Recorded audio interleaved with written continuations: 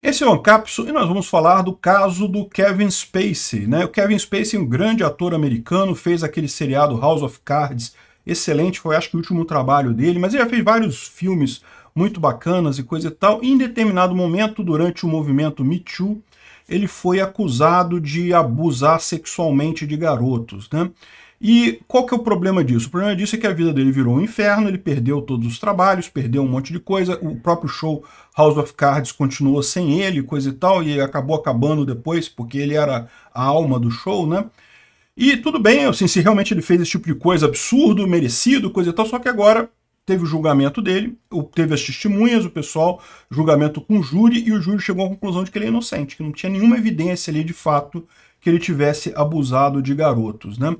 Vamos tentar entender essa história aqui, porque, é, primeiro, tem o caso dele, que é um caso absurdo, realmente, o que aconteceu, coisa e tal, mas também tem o problema de forma genérica, né? Que é o que fala a Madalene Laxo aqui. Quem é que vai pagar a conta disso? O cara perdeu a carreira dele, coisa e tal. Imagina todos os cancelamentos que você tem aí de pessoas que são acusadas de, né, de, de perversão sexual de algum tipo, e aí a pessoa é cancelada e fica com a imagem, a reputação manchada esse tempo todo, como é que, como é que isso vai ser recuperado depois, né?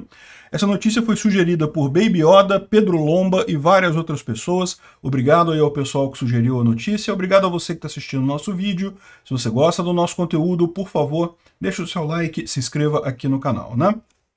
Pois bem, então, essa, essa notícia é uma notícia alegre por um lado, triste por outro, mas principalmente que traz esse dilema muito importante, né? Bom, alegre por quê? Porque pro, pro, foi feita justiça, o cara viu lá que não, que não, não era verdade. E de fato, assim, é, é o que eu falo, acusação de estupro, acusação de má conduta sexual tem sempre que ser investigado. É uma, um ataque sério, se isso aconteceu de fato é algo sério.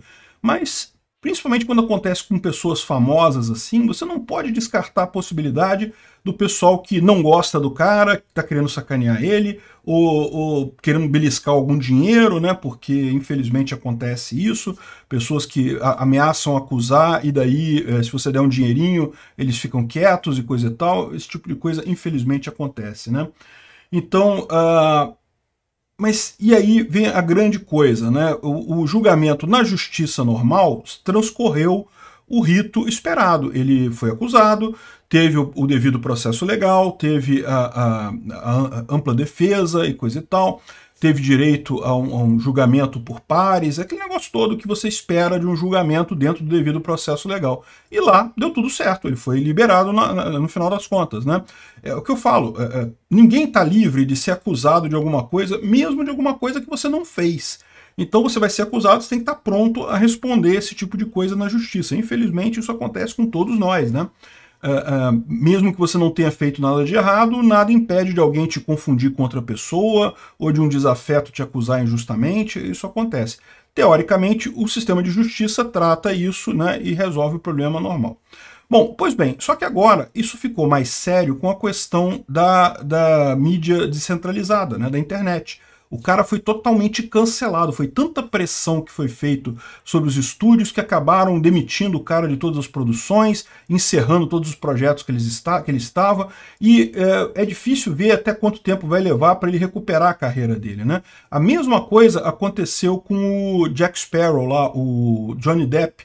O Johnny Depp, vocês lembram, foi acusado de bater na esposa dele e perdeu todos os contratos, perdeu tudo que ele tinha, não sei o que lá, não sei o que lá, foi, foi para a justiça e provou que não, que ela estava mentindo, que na verdade havia sim uma, uma, uma, briga ali, mas era uma coisa que era meio dos dois lados, não tinha esse negócio de ele bater nela, ao contrário, a maior parte era ela batendo nele é, na, na relação ali, né? Enfim, repara como é que você tem um problema aqui que é o seguinte, a justiça da internet ela tende a ser muito rápida mas nem sempre ela é certeira, ela acaba indo para o lado mais, é, um lado que tem a tendência do, das pessoas de imaginar como pior, né? Enfim, e como é que a gente vai resolver isso? Porque a tendência daqui para frente é a internet ficar cada vez mais importante, né? Como é que vai fazer para resolver isso no futuro? E bom, eu não sei, né? A minha, a minha expectativa é, a primeira coisa, a gente tem que lembrar que esse tipo de cancelamento não é novidade. Isso aconteceu também na época, antes da internet, com a própria mídia tradicional cancelando pessoas desse jeito. Então não é como se fosse um, um sintoma novo. Isso já havia antes, a questão só é que antes eram os jornais, a mídia tradicional, e agora é qualquer pessoa né, dentro da internet começa uma campanha de cancelamento e a pessoa acaba cancelada e coisa e tal.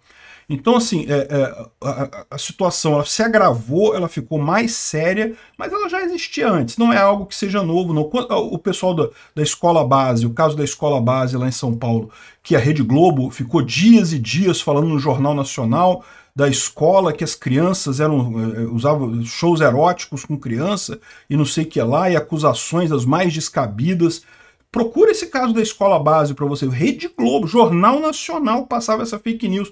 Depois, quando chegou na justiça, descobriu que não tinha nada daquilo. Só que aí nessa altura os caras que estavam envolvidos tiveram que fugir, né? Porque quase que foram linchados, né? Perderam tudo, perderam a escola, perderam a casa, perderam a coisa toda. Ou seja, como é que você resolve isso, né?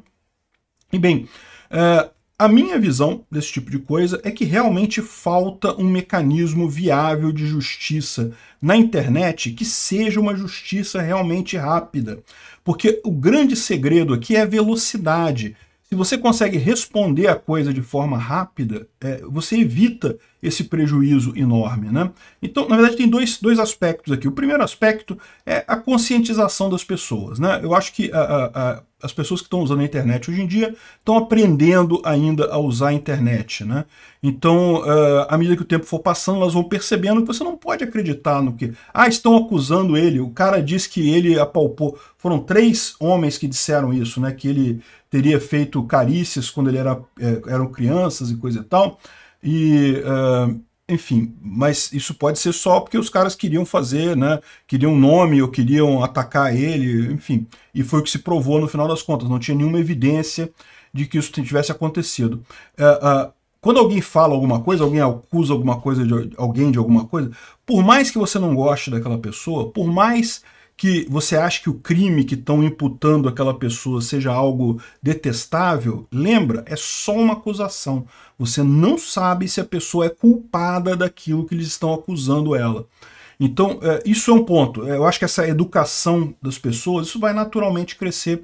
As pessoas vão ficar mais cientes e tem que esperar para ver se realmente a pessoa é culpada da coisa. E o segundo ponto é esse: é importante uma justiça rápida na internet. Isso só por meios tecnológicos. Eu acho que falta isso falta ainda um sistema, alguma coisa na rede social que permita que as pessoas resolvam um problema rapidamente ali entre partes, com devido processo legal, com direito a contraditório, ampla defesa, com todas as, as capacidades e com uma justiça, com um júri é, é, isento, que isso chegue a, uma, a um objetivo final, a uma decisão final rápida. Não pode ser como é hoje na justiça tradicional, vamos dizer assim, que leva meses, anos para dar um veredito. Tem que ser rápido. Enfim, é, vamos ver como é que acontece isso daqui. É uma pena realmente, né? Eu imagino que a carreira dele vai ser retomada. Tomara que retomem a, a House of Cards. Eu gostava da, da, do seriado, né? Obrigado por assistir o vídeo até o final. Além de curtir, compartilhar e se inscrever no canal, considere se tornar patrocinador com valores a partir de R$ 1,99 clique no botão Seja Membro abaixo para saber as condições e vantagens de patrocinar o canal. Mais informações sobre o nosso projeto, visite nossos sites indicados na tela.